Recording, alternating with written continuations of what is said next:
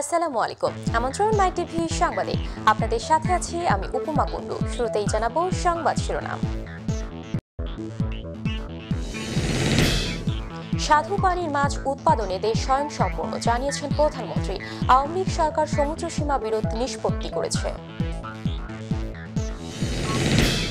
নিষেধাজ্ঞা শেষে সাগরে মাছ ধরতে নেমেছে জেলেরা। কর্মচঞ্চল উপকূলের মৎস্য বন্দরগুলো হাসি ফুটেছে দুই লক্ষাধিক মানুষের মুখে।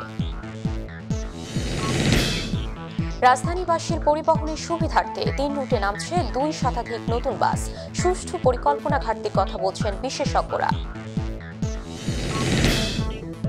ভূমিহীন পরিবারের এক মেধাবীকে নিয়ে মাইটিভিতে সংবাদ প্রকাশের পর টনক নড়েছে মানবাধিকার কমিশনের। সুমোটো রুল জারি।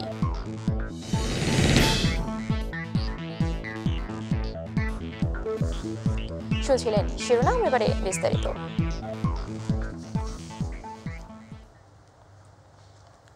প্রধানমন্ত্রী শেখ হাসিনা জানিয়েছেন, মিষ্টি পানির মাছ উৎপাদনে বাংলাদেশ স্বয়ংসম্পূর্ণতা অর্জন করতে পেরেছি। রোববার রাজধানীর বঙ্গবন্ধু আন্তর্জাতিক সম্মেলন কেন্দ্রে জাতীয় মৎস্য সপ্তাহ দুই হাজার বাইশ উদযাপন এবং জাতীয় মৎস্য পদক দুই হাজার বাইশ প্রদান অনুষ্ঠানে তিনি কথা বলেন। প্রধানমন্ত্রী সরকারি বাসভবন গণভবন থেকে ভিডিও কনফারেন্সের মাধ্যমে অনুষ্ঠানে যুক্ত হন তিনি। শেখ হাসিনা বলেন, সবচেয়ে নিরাপদ পুষ্টি পাওয়া যায় মাছ থেকে, যেটা মাংস থেকে হয় না। এ সময় প্রধানমন্ত্রী প্রধানমন্ত্রী বলেন, আওয়ামী লীগ প্রথমবার ক্ষমতায় এসে খোঁজ খবর নিয়ে সমুদ্র সীমায় বাংলাদেশের অধিকার দাবি করে। অনুষ্ঠানে মৎস্য খাতে বিশেষ অবদানের জন্য সাতটি প্রতিষ্ঠানকে স্বর্ণপদক দেওয়া হয়। প্রধানমন্ত্রী শেখ হাসিনার পক্ষে স্বর্ণপদক তুলে দেন কৃষিমন্ত্রী ডক্টর আব্দুর রাজাক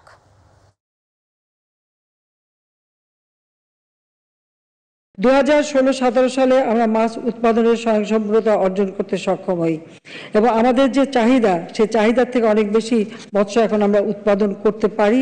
যে আমি মনে করি যে এটা আমাদের জন্য অত্যন্ত এবং গভীর সমুদ্রে আমাদের মৎস্য আহরণের ব্যবস্থা আমরা ধীরে ধীরে নিচ্ছি। এভাবে কয়েকটি দেশের সাথে আমরা আলোচনাও করছি। যাক, আমি শুধু এইটুকু বলব যে আজকে এই উদ্যোগটা সফল হোক। আমরা মাছে বাঙালি। এই মাছে মাঝে বাঙালি হিসেবেই যেন আমরা, তাছাড়া এই যে সমুদ্র সীমায় আমাদের যে বিশেষ করে সি উইড এটা কিন্তু অনেক মূল্যবান একটা সম্পদ। এটা যত বেশি আমরা উৎপাদন করতে পারব, আমরা অনেক বিদেশেও রপ্তানি করতে পারব, আবার আমাদের দেশেও কিন্তু এটা চাহিদা বাড়ছে। মৎস্য সম্পদ রক্ষার্থে পঁয়ষট্টি দিনের নিষেধাজ্ঞা শেষে মাছ ধরতে ফের সাগরে ছুটছেন জেলেরা। এতে খুশি মৎস্য সম্পদের সঙ্গে জড়িত দুই লক্ষাধিক মানুষ। বঙ্গোপসাগরে টানা পঁয়ষট্টি দিনের মাছ ধরার উপর সরকারি নিষেধাজ্ঞা শেষ হয়েছে শনিবার রাত বারোটায়। প্রজনন মৌসুম উপলক্ষে গত বিশ মে থেকে তেইশ জুলাই পর্যন্ত পঁয়ষট্টি দিন সাগর নদীতে মাছ ধরার উপর নিষেধাজ্ঞা জারি করা হয়। এই সময় কক্সবাজারের প্রায় আশি হাজার জেলে সাগর নদীতে মাছ ধরতে যাননি। এ সময় অসহায় জেলেদের সহযোগিতায় জেলা প্রশাসক সহ বিভিন্ন মাধ্যম থেকে দেওয়া হয়েছে ত্রাণ সহায়তা। অবশেষে পঁয়ষট্টি দিন পর জেলেদের জন্য বহুল প্রতীক্ষিত দিনটি ফিরে আসায় আনন্দিত জেলে মৎস্য ব্যবসায়ী ও বোট মালিকরা।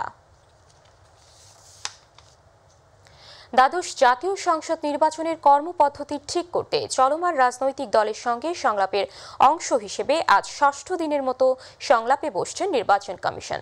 সকাল দশটা তিরিশ মিনিট থেকে শুরু হওয়া সংলাপে পর্যায়ক্রমে অংশ নিচ্ছেন বাংলাদেশ খেলাফত আন্দোলন, জাতীয় সমাজতান্ত্রিক দল, জেএসডি ও ইসলামী ফ্রন্ট বাংলাদেশ।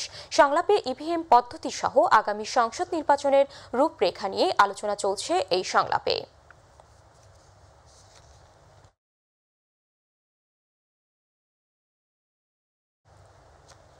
দর্শক, এই মুহূর্তে নির্বাচন কমিশনে আছেন আমাদের সহকর্মী আবু সাইদ অপু। আমরা সরাসরি চলে যাচ্ছি তার কাছে। অপু, নতুন আর কি তথ্য আছে আপনার কাছে? আমাদের জানাবেন।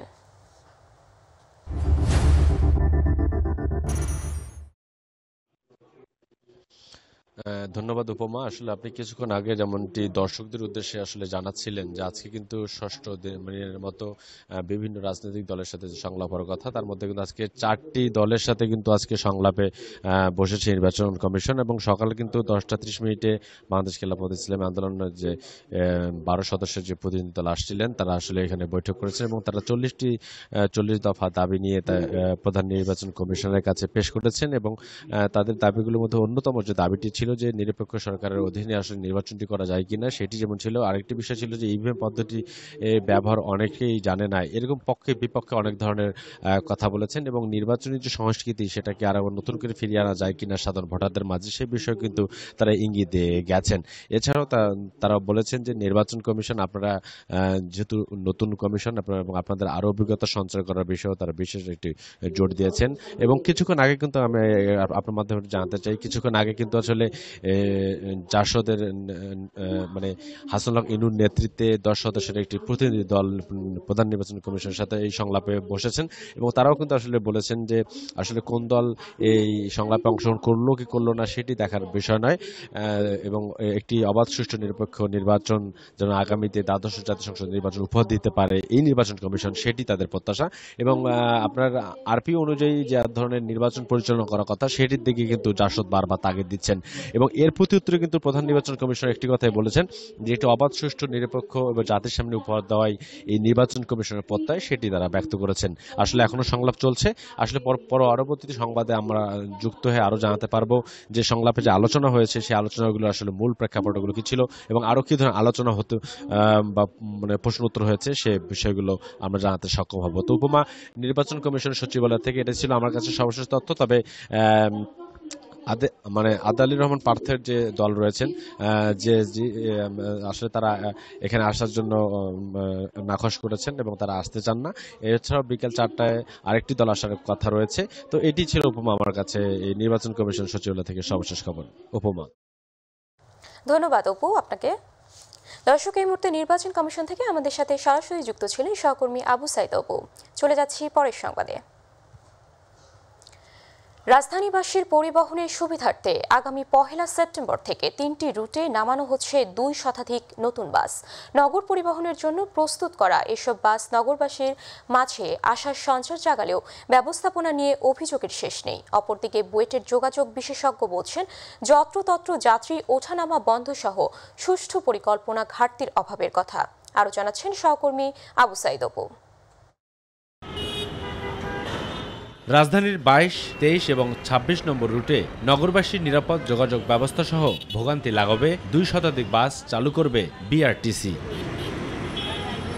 যা নগরীর গুরুত্বপূর্ণ স্থানগুলো দিয়ে প্রতিদিন শিডিউল ভিত্তিক চলাচল করবে। ভাড়ার ক্ষেত্রেও রয়েছে সরকারের ব্যাপক নির্দেশনা।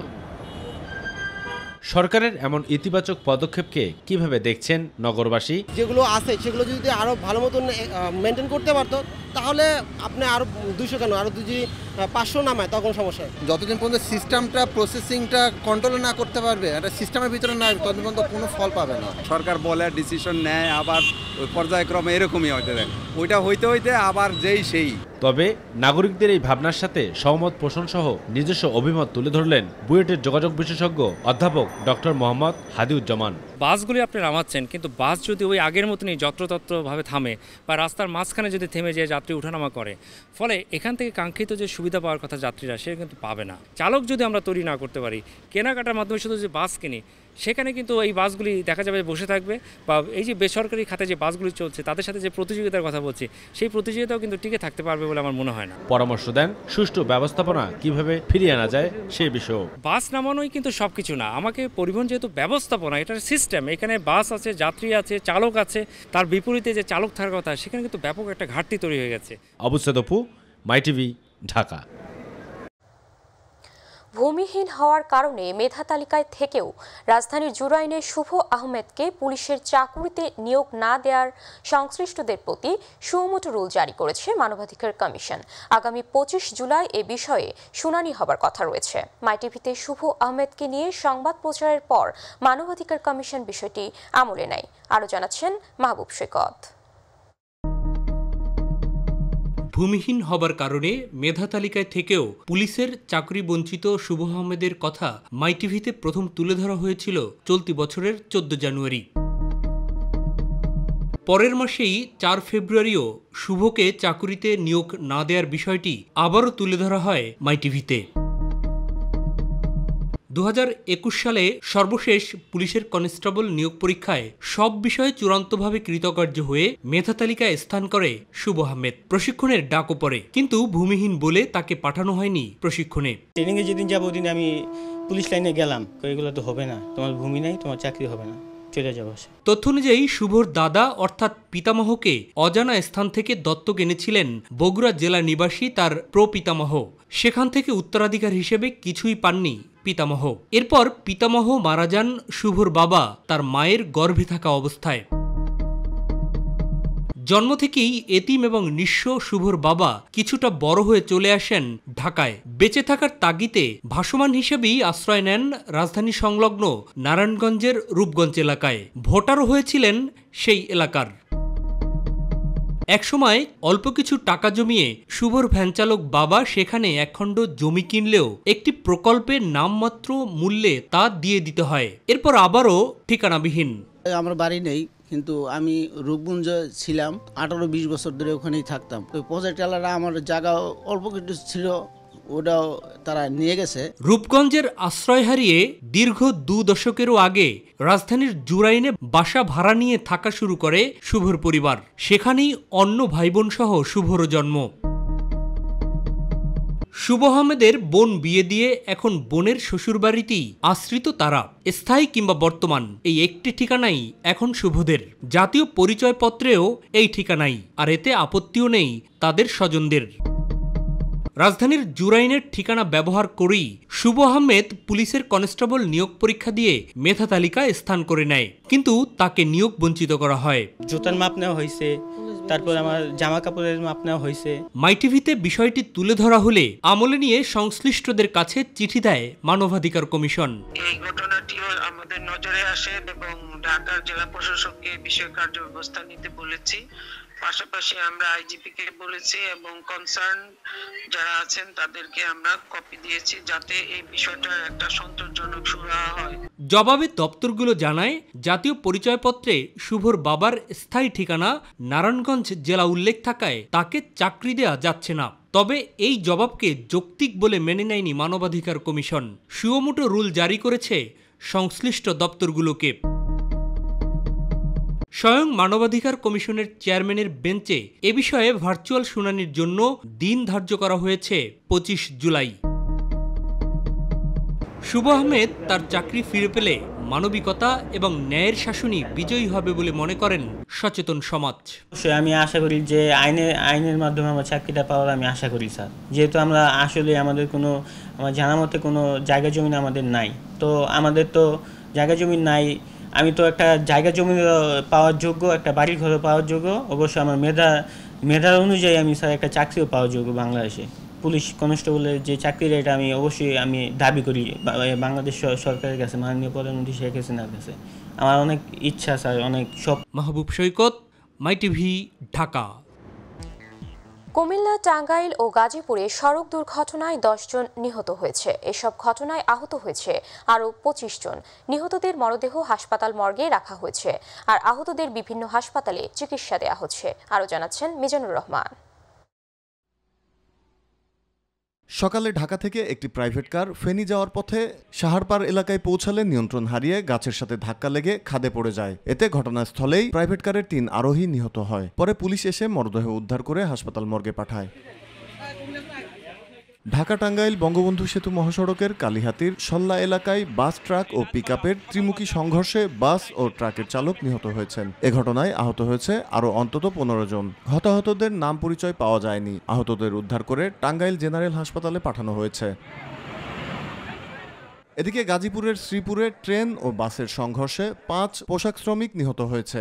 সকালে উপজেলার বরমি ইউনিয়নের মাইজপাড়া রেল ক্রসিংয়ে এ ঘটনা ঘটে। শ্রীপুর রেলওয়ে স্টেশন মাস্টার জানান, ঢাকা থেকে ছেড়ে আসা বলাকা এক্সপ্রেস ট্রেনটি বরমি ইউনিয়নের মাইজপাড়া রেল ক্রসিং পার হওয়ার সময় পোশাক শ্রমিক বহনকারী বাসের সাথে এর সংঘর্ষ হয়। এ ঘটনায় আহত হন আরও জন। আহতদের উদ্ধার করে উপজেলা স্বাস্থ্য কমপ্লেক্সে পাঠানো হয়েছে। Mizanur Rahman, My TV news desk. এবারে আন্তর্জাতিক সংবাদ।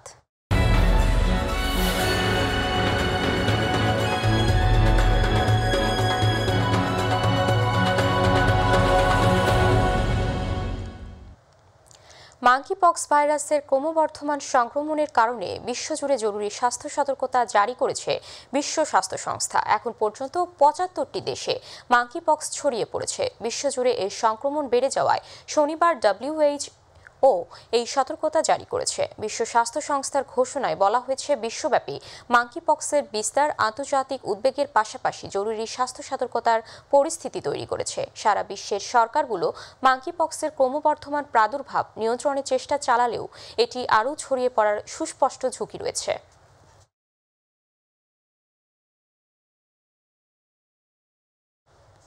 এবারে খেলার সংবাদ।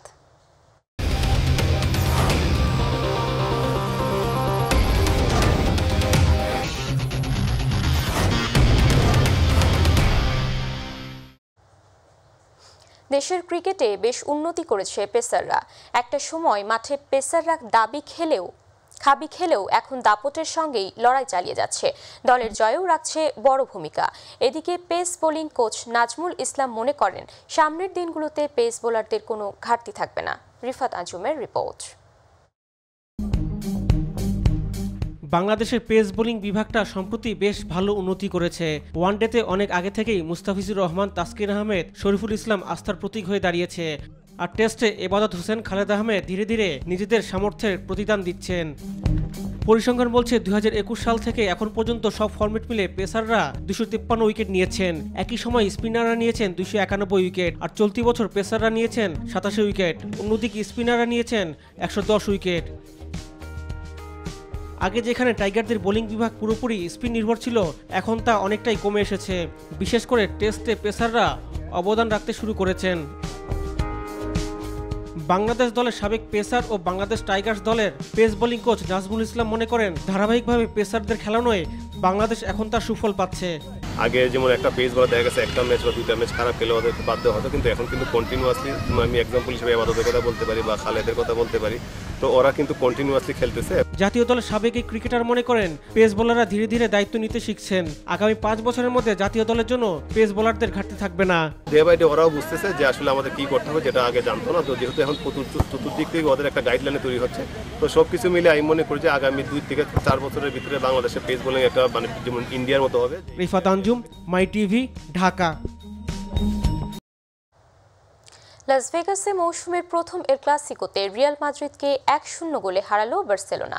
ম্যাচের একমাত্র গোলটি করেন ব্রাজিলিয়ান উইঙ্গার রাফিনহা। সাকার, সকার চ্যাম্পিয়ন্স ট্যুর প্রীতি ম্যাচে সাতাশতম মিনিটে গোল করে বার্সাকে এগিয়ে নেন রাফিনহা।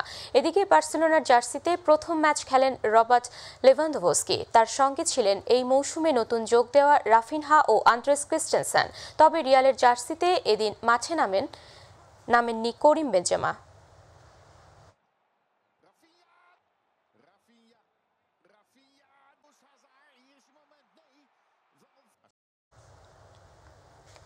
এবার বিনোদনের খবর। বলিউডের অভিনেতা রণবীর সিংয়ের পোশাক বৈচিত্র্য কম বেশি সবারই জানা। বিচিত্র কালার আর ডিজাইনের পোশাকে বরাবরই আলাদা নজর কাড়েন তিনি। এবার তার নগ্ন ফটোশ্যুট তুমুল আলোচনায় এসেছে। এসব ছবি নিয়ে নেটিজেনদের মধ্যে প্রশংসার সঙ্গে ঝরছে নিন্দাও। বিস্তারিত জুবাইর রহমানের রিপোর্টে। রণবীর সিং, এমন এক অভিনেতা যিনি অভিনয় তো বটেই, আলোচনায় থাকেন তার ফ্যাশনের কারণেও। কোথাও কোনো পুরুষকে একটু ব্যতিক্রমী ধরনের পোশাক পরতে দেখলে সবার আগে আপনার রণবীর সিং এর কথাই মনে পড়বে। এবার ঘটল একদমই ব্যতিক্রমী এক ঘটনা। পেপার ম্যাগাজিনের জন্য সম্পূর্ণ নগ্ন হয়ে ফটোশ্যুট করলেন রণবীর, যেখানে তার শরীরে একটি সুতোও ছিল না। এরই মধ্যে নায়কের সেই নগ্ন ফটোশ্যুট ভাইরাল হয়েছে। তবে এ নিয়ে রণবীরের মধ্যে কোনো সংকোচ নেই। এমনকি সবার সামনে নগ্ন হতেও নাকি তার বিন্দুমাত্র অসুবিধা হয় না। ওই ফটোশুটে বেশ কিছু ভঙ্গিতেই দেখা গেছে বাজিরাও মাস্তানি খ্যাত এই অভিনেতাকে। কখনো বসে, কখনো কাত হয়ে, আবার কখনো উবু হয়ে পোজ দিয়েছেন তিনি। নেটিজেনরা বলছেন, বিখ্যাত মার্কিন অভিনেতা বার্ট রেনল্ডসকে শ্রদ্ধা জানিয়ে আতবসা হয়ে পোচটি দিয়েছেন রণবীর। তবে তার নগ্ন ফটোশুট নিয়ে নেটিজেনদের মাঝে রয়েছে মিশ্র প্রতিক্রিয়া। ফলে ছবিগুলো প্রশংসার পাশাপাশি নিন্দাও পেয়েছে। Jubai Rahman, My TV news desk.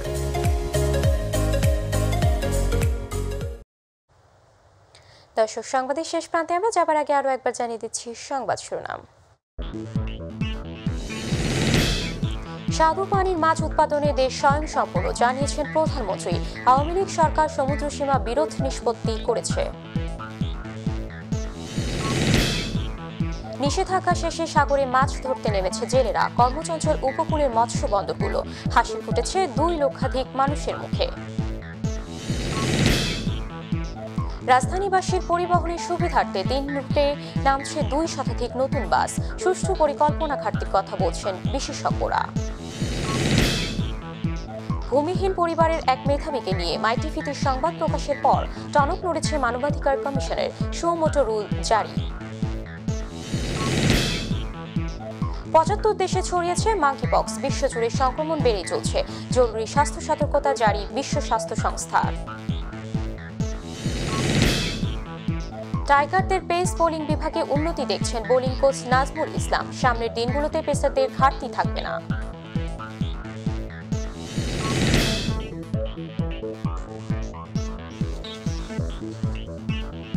দর্শক, সঙ্গে থাকার জন্য ধন্যবাদ। এছাড়া ইউটিউবে মাই টিভি সংবাদ পেতে ভিজিট করুন। YouTube slash My TV news এবং আমাদের অনুষ্ঠান দেখতে ভিজিট করুন। YouTube slash My TV Bangla Facebook slash My TV Bangla. আল্লাহ হাফেজ।